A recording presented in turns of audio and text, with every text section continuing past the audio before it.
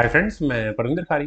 Friends आज की हमारी गेम सतेज दाईकुले जी की वीडियो रिकमेंडेशन है, जिन्होंने मुझसे सन 1961 की एक गजब की गेम के ऊपर वीडियो बनाने के लिए कहा था। बहुत ही टफ गेम है। Leonid Stein versus FM Geller E4 के साथ यहाँ स्टाइन ने शुरू किया। एफएम ने रिस्पांस दिया E5 का नाइट F3 हुआ नाइट C6 ऑब्वियस है bishop B5 Ruy Lopez A6 bishop गया A4 स्क्वायर पर।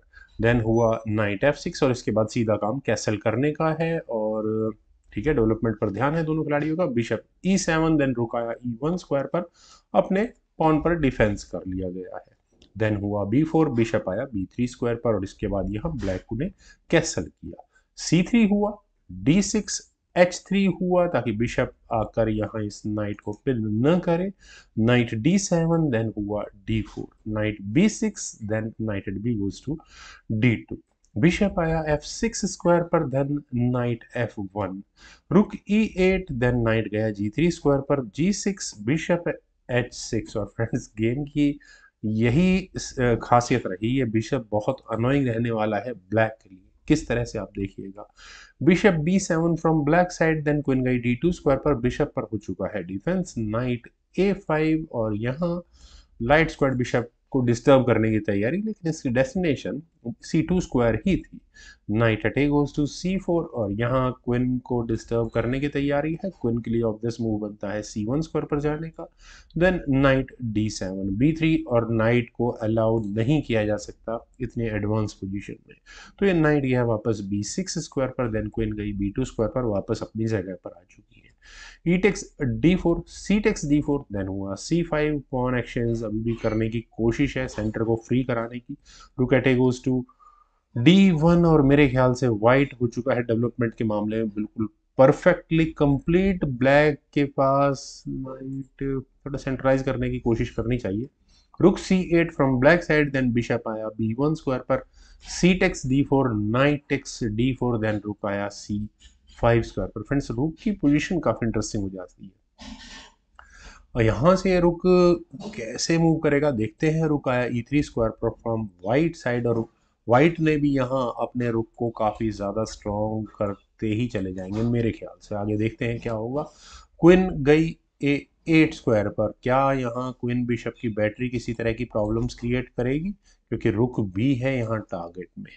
शायद करेगी, लेकिन नाइट एफ़ थ्री, पहले सेफ्टी, नाइट वापस आया है और पॉन को लेने की तैयारी है एग्जैक्टली exactly है। नाइट सी एट, पॉन पर डिफेंस हो गया अपने नाइट से और नाइट को इम्प्रूव करने की भी यहाँ तैयारियाँ हैं, मेरे ख्याल से तो। Knight H two then bishop गया एच एट स्क्वायर पर, क्योंकि वाइट का ये नाइट कहाँ जाएगा, ये बताने की मुझे बहुत ज़्यादा ज़रूरत है नहीं।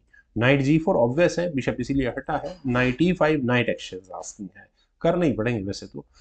नाइट टेक्स ई फाइव और फ्रेंड्स यहाँ क्या करना चाहिए? बिशप टेक्स ई फाइव ठीक ठाक ऑप्शन है। मैं क्यों कह सकता हूँ? है यहाँ एफ़ ने रुक टेक्स ई फाइव के ऑप्शन को चुना और रुक बिशप की बैटरी बिल्कुल स्ट्रांग तैयार हो गई है। पॉन पर प्रेशर ज़रूर बन रहा है, लेकिन रुक सी थ्री और रुक के सी थ्री स्क्वायर पर जाने के बाद इस रुक की अगली डेस्टिनेशन क्या होने वाली है? यहाँ पर सेवंथ रैंक और उसके बाद थोड़े बहुत इश्यूज़ माइट भी हो सकते हैं। लेकिन रुकेट five goes to E seven पहले यहाँ पर ब्लैक ने किया।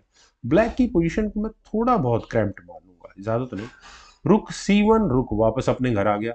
बिशप आया ई फाइव स्क्वायर पर और यहाँ नाइट को माइट भी लेने की तैयारी हो सकती है, लेकिन उससे पहले व्हाइट ने अपने इस एफ़ पॉन को आगे पुश करके बिशप को वापस भगाने के लिए बोला। गया वो एफ़ सिक्स स्क्वायर पर देन एफ़ पॉन एक कदम और आगे पुश हो गया है। और यहाँ एग्जैक्टली exactly बिल्कुल वही थ्रेट कैसल्ड स्ट्रक्चर को पूरी तरह से डिस्टर्ब करने की तैयारी है। लेकिन उससे पहले मूव है एफ़ का, उन्होंने यहाँ अपने बिशप को लिया ई फाइव स्क्वायर पर और नाइट को टारगेट लगाने की कोशिश है। तो इन बिशप एफ़ फोर बिल्कुल बिशप एक्सचेंज करिए अगर आपको करने हैं तो लेकिन यहाँ एफ़ एम गैलर ने पहले एक चेक दी, अपनी दूर रखी हुई क्विन से क्विन ए सेवन चेक और इस चेक से बचने के लिए वैसे है कि किंग को एच टू स्क्वायर पर लेकर जाओ, लेकिन नाइट ठीक है नाइट के साथ भी। और फ्रेंड्स यहाँ इस पॉइंट पर मैं अक्सर कहता हूँ कि जैसे मैं पूरी गेम को देख चुका हूँ तो यहाँ एक बात कह सकता हूँ कि ब्लैक को अपने बिशप को अभी एक्सचेंज नहीं करना चाहिए था। बिशप एच एट ज़्यादा बेहतर मूव था, लेकिन यहाँ क्वीन के बी सिक्स स्क्वायर पर जाने के बाद वाइट को मौका मिला स्टाइन को मौका मिला बिशप एक्सचेंज करने का।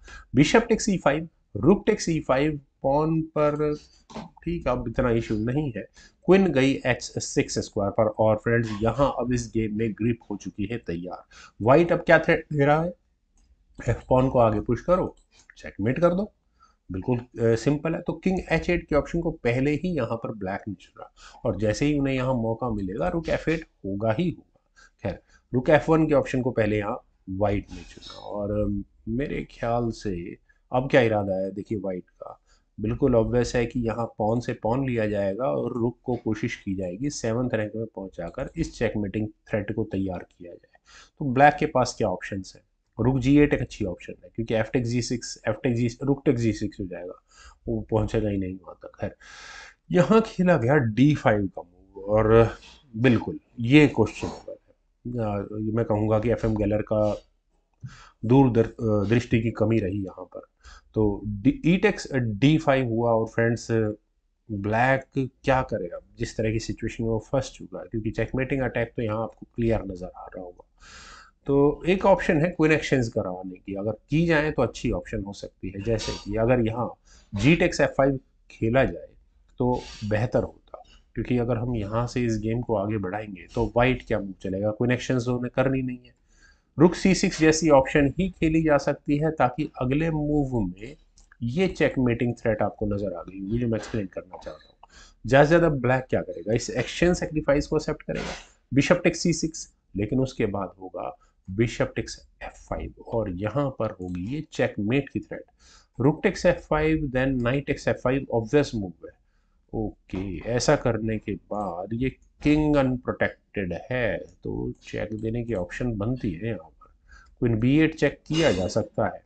इससे बचने के लिए क्या करेंगे? डी सिक्स कर देते हैं, लेकिन उसके बाद ज़्यादा ज़्यादा यही होगा ना डी सिक्स करने के बाद। क्विंटेक्स डी सिक्स फोर्सफुली नहीं, कोई नहीं चली जाएगी।